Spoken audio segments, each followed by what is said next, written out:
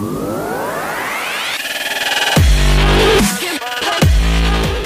What's up YouTube? Welcome back to MMO's World. We're bringing you another recap of all the major MMO news that happened throughout the week, so sit tight and soak it in. We're starting the news this week with The Elder Scrolls Online, who has brought back the much troubled Undaunted event to the game after weeks and weeks of delay since December last year.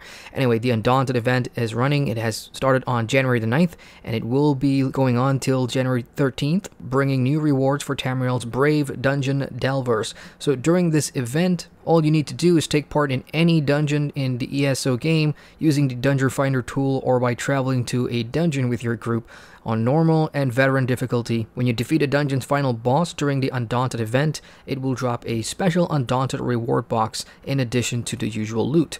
In these containers, you can discover all kinds of useful and valuable items such as Undaunted Keys, Undaunted Plunder, which are gear, motif pages, repair kits, transmute crystals, riding lessons even, and so much more. It's time to get into the thick of the war because Black Desert Mobile's latest update has included Guild Wars and the new exciting Ancient Ruins expansion. Guild War is a massive PvP mode where guilds can fight each other in combat areas. Guild masters and guild officers can de declare war by simply finding enemy guilds using the in-game guild window. All guild members are automatically enlisted and the war remains active for 48 hours. The war ends once a guild acquires more than 30,000 guild points, which are awarded each time an opposing guild member is defeated. As for the Ancient Ruins, the difficulty levels have gone up with the expansion of Chambers 6 and 7. There's a new collaborative battle mode for the Ancient Ruins now that allows adventurers with higher combat points to challenge an even more powerful Kabuamiles and receive better rewards when defeating these ancient warriors. Moving on now, World of Dragon Nest, a new MMORPG for players in Southeast Asia, has launched this week. It is the first open world MMORPG based on the popular IP from Nexon, and the game went live for iOS and Android devices on January 8th. World of Dragon Nest features five classic classes, a deep lore, story, action combat, and a large cast of NPC characters from the series. From a content standpoint, you will see open world questing, PvE dungeons, PvP siege battles, and even life skills like fishing and other crafting stuff if you need a break from your adventures.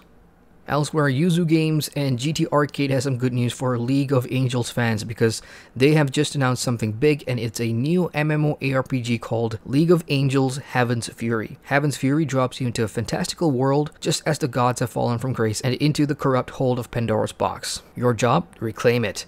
Throughout this epic MMORPG adventure, you will discover plenty of features centered around innovative PvE and PvP modes offering a divine experience for League of Angels fans. There's a traditional story with a very familiar storyline putting you on the front line of the battle for the heavens.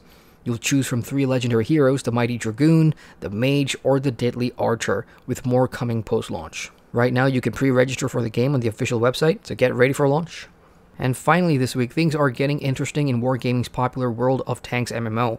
The game has just announced a brand new event called the Dawn of Industry, which goes live on the 16th of January. Prepare your clan and rework your loadouts because Dawn of Industry will bring brand new mechanics with awesome rewards. Two fresh mechanics are introduced, like the Craft Machine, which will help you get the antique Tier 7 to Tier 8 premium tanks, and the Experimental Modules, which will boost the performance of your vehicles, thanks to a special consumable that will enhance their characteristics during one battle. And that wraps up our MMO news recap for the week. For more MMO news as it happens, check out our website at mmosworld.com. Don't forget to like the video and subscribe to the channel, and we'll see you soon. Take care.